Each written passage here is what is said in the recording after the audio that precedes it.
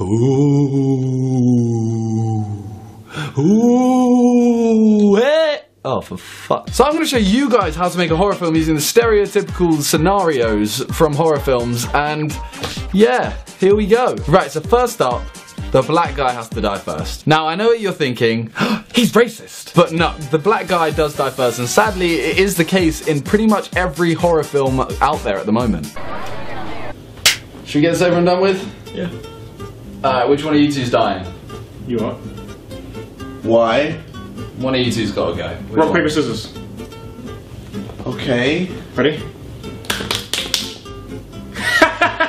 not time today. Not time today. Not time. So once that's done, you have to establish a main character, which is normally a sexy cheerleader.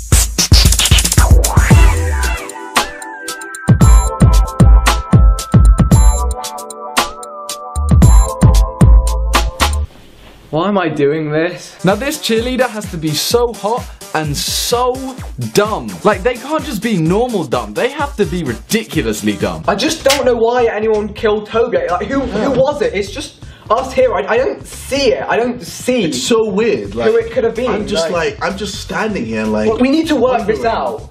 Where like how? How did he die? It's only us. Then once that is done and they have realized that someone is dead, they have to agree to split up into either pairs or on their own, even though it's clearly gonna lead to them being picked off one by one and dying. Normally one of them always ends up going with the murderer as well. Right guys, there's a murder on the loose and Toby's Toby's dead. Okay, we're gonna split up and look for the murderer. I'm gonna go with Vic. You're gonna go with Josh. Okay? Good idea. Yeah. Can I go yeah. with- can I no, go with Vic? I'm with Vic. Okay. You guys are gonna stay here in case the murderer comes back. We're gonna go check the aquarium. We'll see you guys later, okay? I like- Good luck. I like Good luck. Vic.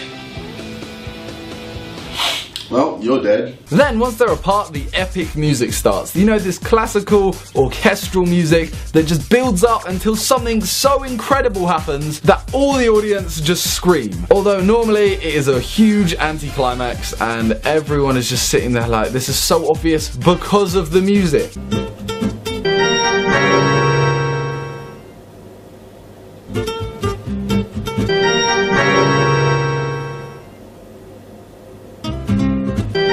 Shut up! Oh, sorry. Then you get to the final scene where it is just the cheerleader and the murderer left, and the cheerleader has been found. The murderer is chasing this cheerleader through something like a forest or through a house or something like that, and they fall over. Over nothing. They fall over over nothing. This is then when they find something where they could quite easily escape, but no, they go back for something.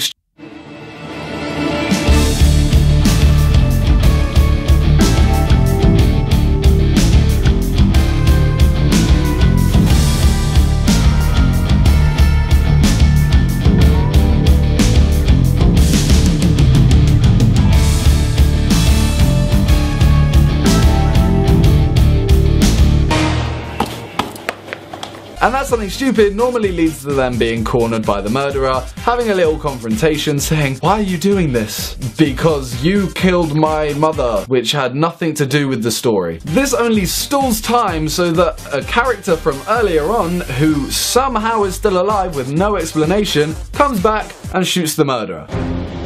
Why are you doing this? Because you stole my mom's pubes. Then they're happy, they leave, that's the end of that, even though all their friends have just died. I mean, the only other thing is some people do handheld movies, but that effect's kind of gone and nobody does that nowadays. What the fuck? Yo, what the hell? Yo. Oh, it's just Toby. Alright, that's cool. Uh, what the? This is it! The hell? How long have you been here, Vic? The fuck? My fucking pubes! Oh my god. Random jump cut. Let's go, let's go, come on! Vic, come on, let's go, he's coming! Vic, he's coming, come on, the door is right here! Come on! Let's go!